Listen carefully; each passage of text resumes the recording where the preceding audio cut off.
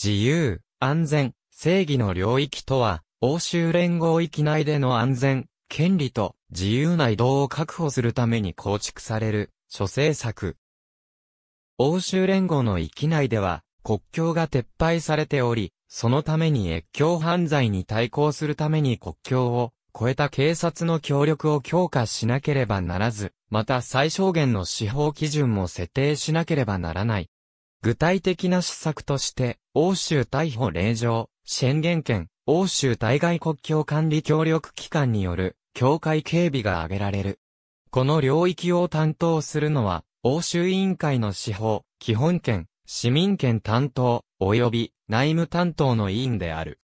両委員は、EU 市民権や、差別、薬物、組織犯罪、テロリズム、人身売買との戦い、人の移動の自由、移民、難民、民事及び刑事における、司法協力、警察、関税協力、そして加盟希望国におけるこれらの取り組みを扱う。またこれらを担当する部局は、欧州委員会の司法総局と内務総局である。また、欧州司法機構や欧州刑事警察機構でも、それぞれで、司法や警察協力を進めている。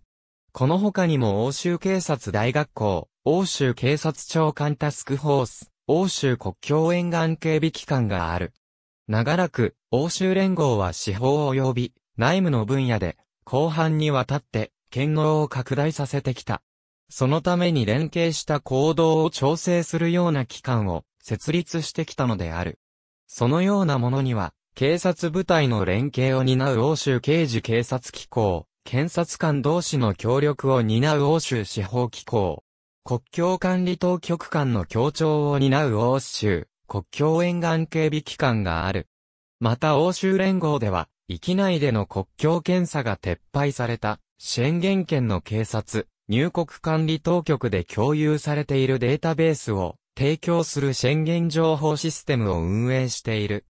さらに欧州連合では、犯罪者引き渡し、親族法、難民法、刑事司法などが制定されている。基本条約では長らく、性差別や国籍差別の禁止を定めている。近年では、人種、宗教、身体障害、年齢、性的指向による差別の禁止についても法制化されるようになっており、職場における性差別や人種差別についての法令が施行されている。2006年、コートジボワールにおいて、ヨーロッパの船舶が有毒廃棄物を不法投棄した事件は、欧州委員会が有毒廃棄物に対する法制度の整備を実施していくきっかけとなった出来事であった。環境担当委員のスタブロス・ディマスは、これほどの有害な廃棄物が、欧州連合から持ち出されるなど絶対にあっては、ならないことだと述べている。しかしながらスペインなどの一部加盟国では、有害廃棄物の輸送を犯罪としていなかったこともあり、司法、自由、安全担当員、フランコ・フラッティーニと、ディマスは、環境犯罪に対する刑を定めることを提案した。この提案の正当性については2005年に欧州司法裁判所で審議され、正当性に疑いがないことが確認されている。この判決は、基本条約の規定を超えない限りにおいて、欧州委員会が超国家的原理により、刑事法を制定することができるという判例となった。欧州議会では、欧州連合の権能に、刑事法の制定を含めないとする動議が、検討されたが、否決されている。ただし2007年10月に、欧州司法裁判所は、欧州委員会が、どのような刑罰を課すかということは提案できないとし、あくまでも、刑事罰の対象となるということを提案するのみに、とどまるものであるとした。欧州委員会は、ユーロ紙幣とユーロ硬貨の偽造、クレジットカード及び小切手についての詐欺、資金洗浄、人身売買、コンピュータへの不正侵入及びウイルス攻撃、民間部門における汚職、海洋汚染をヨーロッパの犯罪として列挙している。安全と司法における協力の第一歩が踏み出されたのは1975年のことであり、この年に加盟国の司法、内務担当閣僚による会議体トレビーが創設された。実務的な協力としては、最初のものとなったのが、欧州連合域内の国境を解放する1990年署名の宣言協定施行協定である。これとは、並行して、ダブリン規則では、警察の協力が定められた。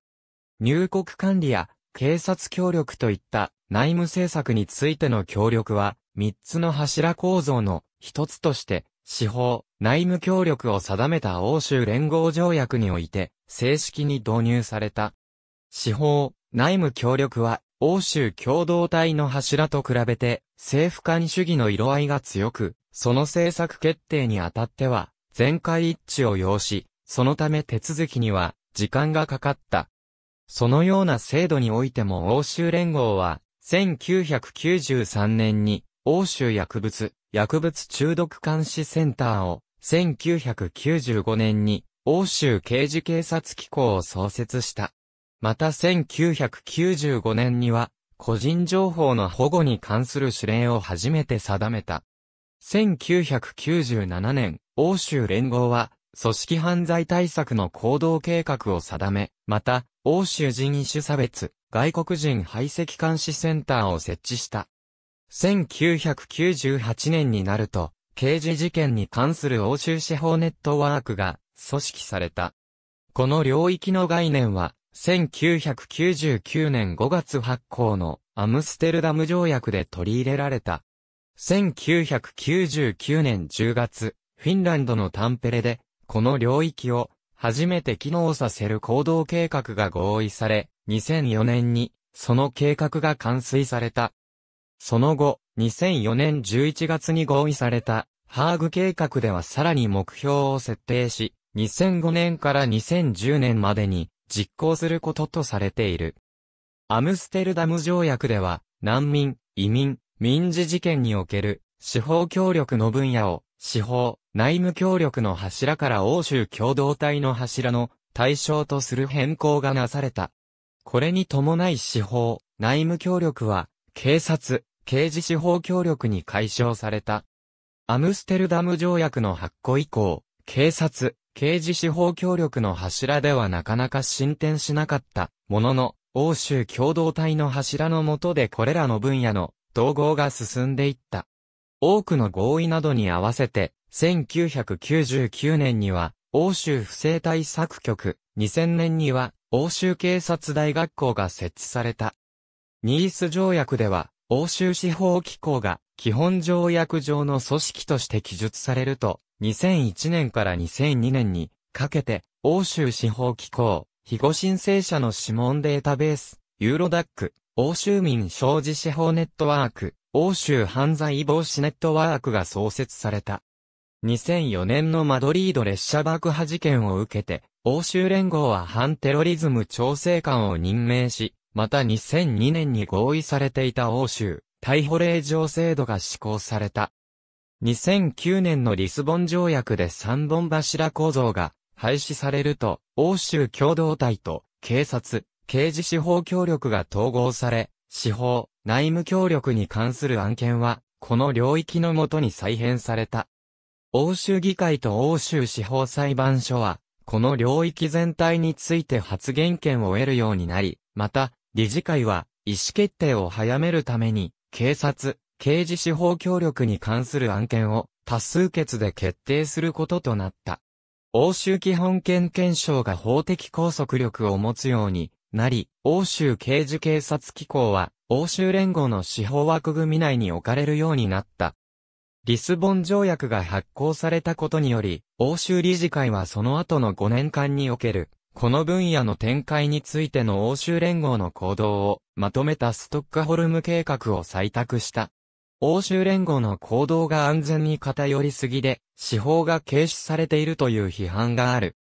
例えば、欧州連合は、欧州逮捕令状制度を創設したが、その制度の下で逮捕された被告人に対して共通の権利を定めていない。リスボン条約で権限が強化されたことで、第2次バローゾ委員会では、従来は安全分野担当と兼ねていた司法分野に専念する担当委員を任命した。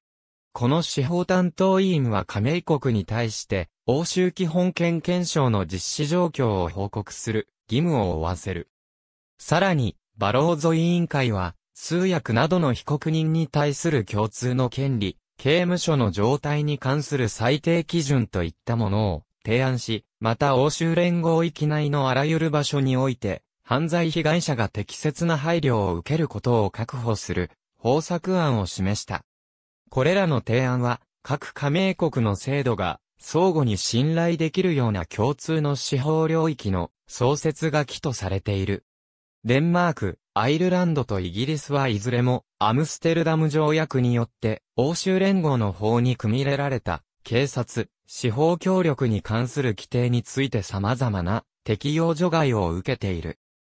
このような適用除外はもともと警察、司法協力分野における3つの国の関与を制限するというものであったが、今ではこれらの3つの国は、警察、司法協力に関して宣言権の制限の範囲内で協力国とみなされるようになっている。デンマークは2001年3月25日から宣言協定を完全に施行している。イギリスも2001年に警察、司法協力に関する規定に加わることを選んだ。ありがとうございます。